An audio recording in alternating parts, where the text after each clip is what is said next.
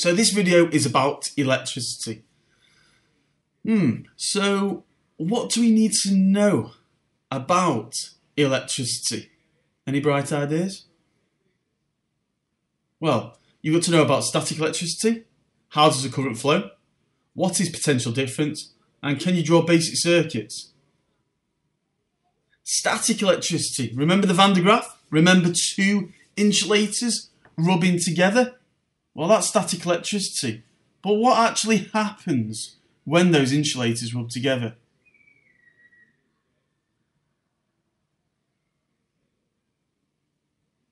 Well, within a wire, there are subatomic particles called electrons. Okay, remember the atom? Remember electrons? Well, if the electrons are free to move, an electric current will flow.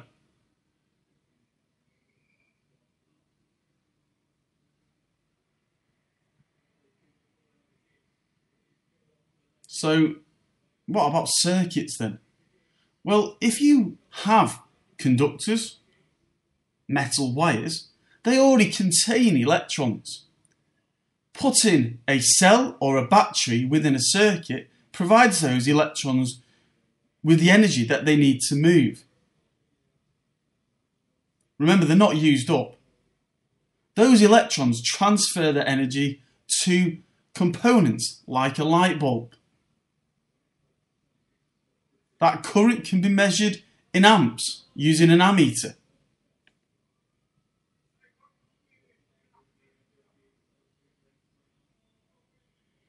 Now, if you give those electrons a higher voltage, let's say 12 volts, instead of maybe the 3, 4 that we had before, then the amps will increase.